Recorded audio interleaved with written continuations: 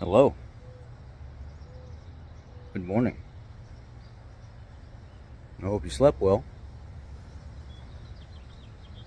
That was kind of creepy, right? Sometimes I'm creepy in the morning. Like, you waking up? Are you going to get up? Because I'm going to stay right here until you get up. You up yet? Are you up yet?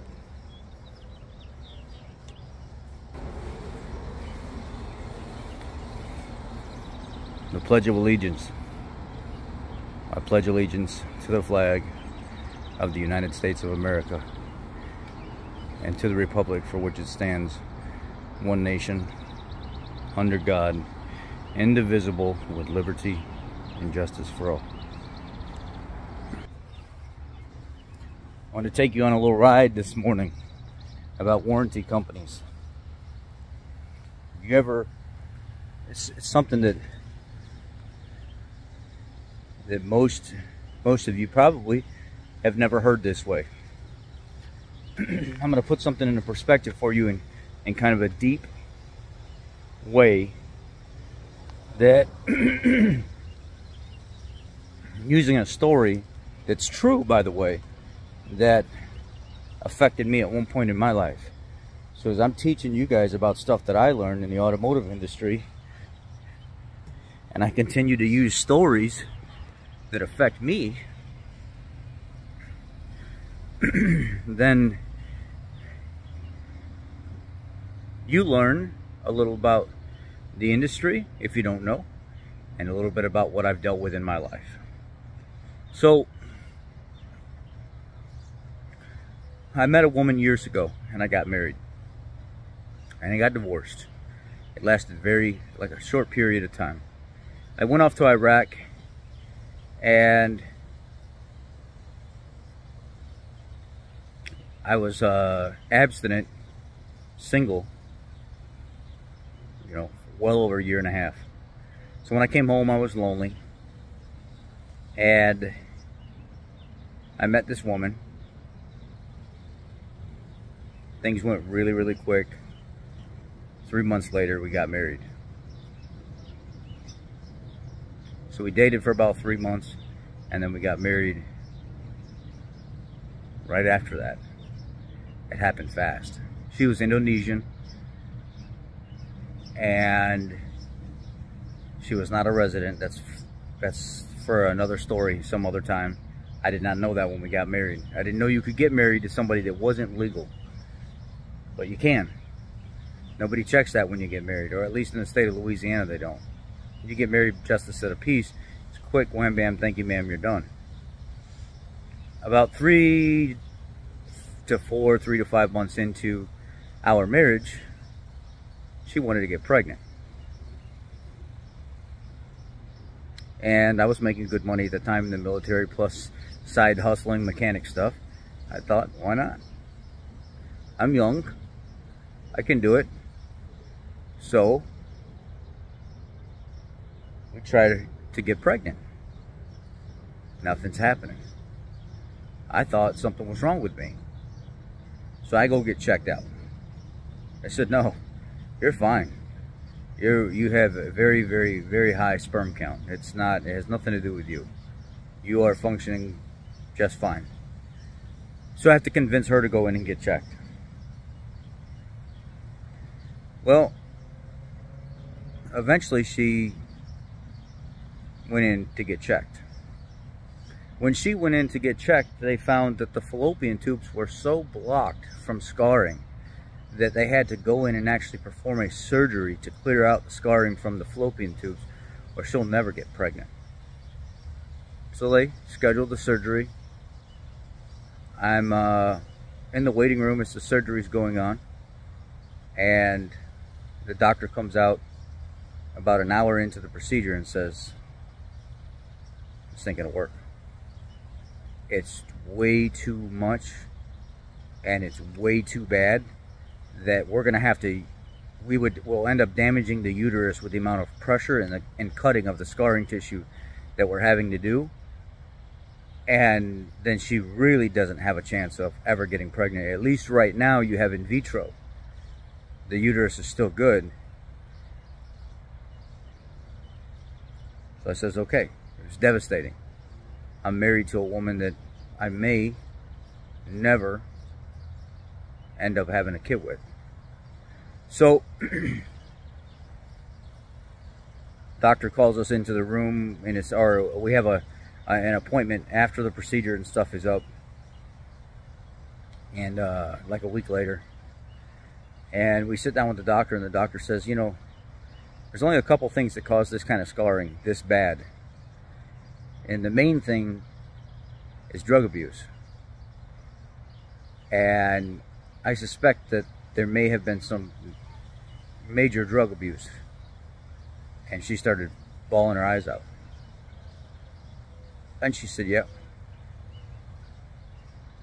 Yep. Almost my whole adult life up until a couple years ago, I, all I did was just use all kinds of different types of drugs.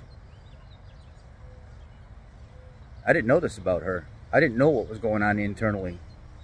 I didn't know what kind of damage had been done internally because outside, she was just a long, black-haired, silky, shiny black hair, beautiful woman, put together very, very well, and everything looked absolutely perfect. You couldn't tell.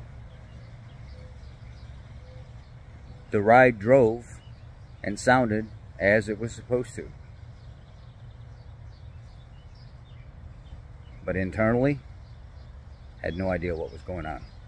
She had never spoke about that part of her life. Hell, we weren't together that long to figure that stuff out, long-term wise, to get into the personal matters.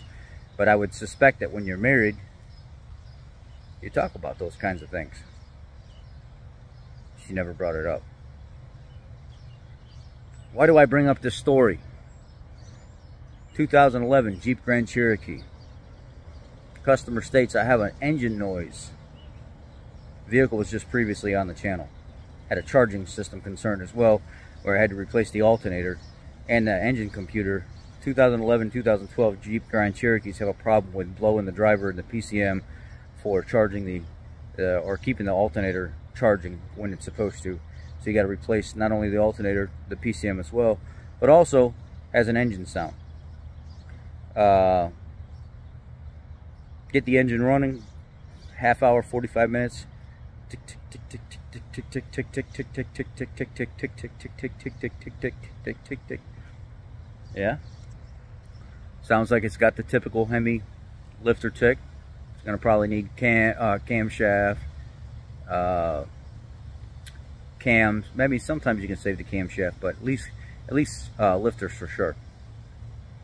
Call up the extended warranty company.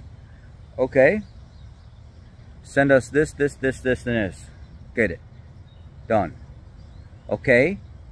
Now I need an oil change receipt from the time the customer purchased the vehicle eight months ago to now. Well, they've only went 2,200 miles. Yeah, I know. But our policy is 5,000 miles or six months, whatever comes first. And just because they went 2,200 miles doesn't mean that oil should still be in the vehicle. Every six months we want that oil change no matter what. Luckily, they did have the oil change. They had to go back to the old repair facility to get it printed out, their, their record. Okay, that's good. Now you can proceed with the repair. But in order to proceed with the repair, you have to secure teardown time from the customer. Well, it's like a 16-hour job. Uh, six, not maybe not 16. Is it a 16-hour job? Anyway, because if we get inside that engine and it don't look good, and it looks like somebody's abused it, we ain't paying for it. Well, wait a second. How's that the customer's fault? They just bought the vehicle at, you know, 92,000 miles. It's got 94 on it now. They don't know what the condition of that engine is inside before they purchased it. They just know it ran good and it looked good and sounded good when they bought it. Unfortunately, it's not our problem. So if you tear that engine apart, we see a bunch of varnish and scale buildup and sludge and stuff in there not getting paid for. Well, I, what's the point of buying an extended warranty then if you guys have loopholes when you get out of major engine repairs like this? Sometimes it works, sometimes it don't. You don't know what you're buying. With a used car, somebody else's car, you don't know what you're getting. With a human being, you don't know what you're getting. Everything may look good on the outside, but you don't know what kind of damage has been done on the inside. It may ride good, sound good, drive good, but when you start looking internally to figure out what kind of damage has been done emotionally, physically, medically in someone's life, you don't know. Sometimes people are very good at hiding stuff like that. Same thing with a car. 2,200 miles later and the vehicle is only eight months old. You don't know how previous owners took care of that vehicle at 92,000 miles. You have no idea. You just know it rides good. You don't know what's going to pop up, when it's going to pop up. You don't know the maintenance history of it, nothing. Even though I advocate for extended warranties because they do save people a lot of money, there are some downfalls to it. And there are some things that people don't know. I had to call the customer back up and said, well, you want to take a chance and me tear this thing down and then you owe me all the money putting this job back together, fixing everything? Or are we going to leave it the way it is and just deal with the little sound now until it gets worse? Either way, it's not going to be good.